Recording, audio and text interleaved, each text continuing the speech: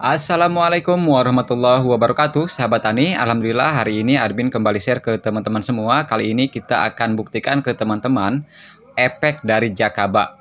Dari yang 24 jam Yang 36 jam Dan yang 10 hari setelah aplikasi Juga yang sudah 3 bulan setelah aplikasi. Sahabat Tani ya. Jakaba ini sudah terbukti sakti menyuburkan tanaman mencegah layu pusarium, dan juga menyuburkan tanaman yang kerdil, sahabat tani ya.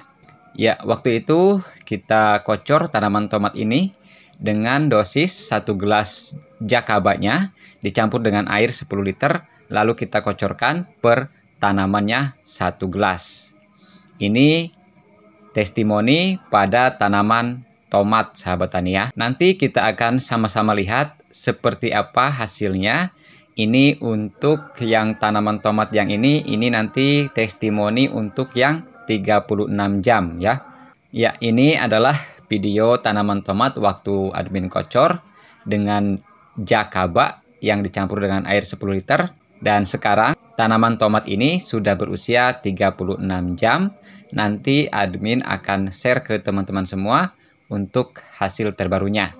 Sekarang kita mulai yang 24 jam dulu sahabat ya. Sahabat tani pasti ingat ya kalau menonton video Maman Adeja channel. Ini pembuatan pupuk cemplang cemplung sahabat tani ya. Ini kita bisa lihat sahabat tani. Ini jakaba baru 24 jam sudah tumbuh. Lihat. Sudah tumbuh jakaba pada POC 24 jam.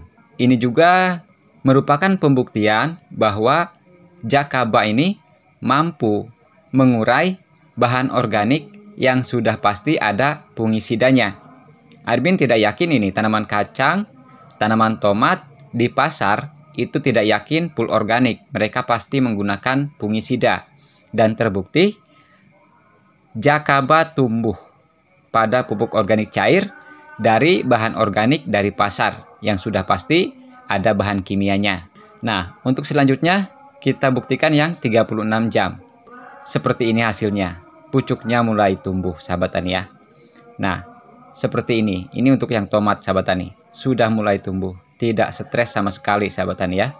Ini sudah mulai pulih sejak 36 jam pindah tanam. Oke, untuk membuktikan, admin akan cek akarnya. Seperti apa akarnya 36 jam setelah ditanam. Lihat sahabat tani, akar sudah tumbuh pada tanaman tomat ini 36 jam setelah dikocor menggunakan jakaba.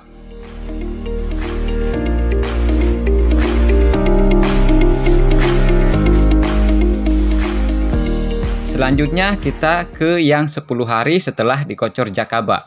Bisa teman-teman saksikan. Seperti ini. Ini dulu nggak ada tunasnya ya. Ini nggak ada batang ke atas sahabat tani. Tapi sekarang sudah tumbuh tunas. Nah, di sini dulu itu tidak ada ya. 10 hari yang lalu tidak ada tunasnya. Tidak seperti yang ini. Kalau yang ini kan ada pucuknya dari awal memang. Untuk yang ada tunas dari awal, memang seperti ini hasilnya. Ini untuk yang kerdil juga sudah mulai tumbuh. Nah, ini juga yang kerdil sudah mulai tumbuh, sahabat tani ya. Nah, yang istimewa yang ini menurut admin sahabat tani ya. Ini tidak ada pucuknya seperti ini. Kalau ini kan dari awal udah ada pucuk ya, normal yang ini. Tapi kalau untuk yang ini sahabat tani, ini tadinya tidak ada pucuknya, cuma ada daun aja sahabat tani. Nah, ini ini daun lama. Ini daun lama. Dan ini juga daun lama sahabat tani ya. Ini tidak ada pucuknya tapi sekarang tumbuh tunas baru, tumbuh tunas yang sudah tinggi sekarang tunas airnya sahabat tani ya. Dari sini muncul tunas air 3 biji sahabat tani ya. 3 tunas dan sekarang sudah tinggi. Nah ini sudah seperti ini. Dan ini untuk yang 3 bulan sahabat tani ya. Ini tanaman timun suri 3 bulan. Sekarang setelah dispray jakaba rutin ya. Alhamdulillah tunasnya tidak berhenti atau pucuknya tidak berhenti sahabat tani. Terus mereka bertunas lagi dan lagi sepertinya tidak akan mati. Terima kasih. Wassalamualaikum warahmatullahi wabarakatuh.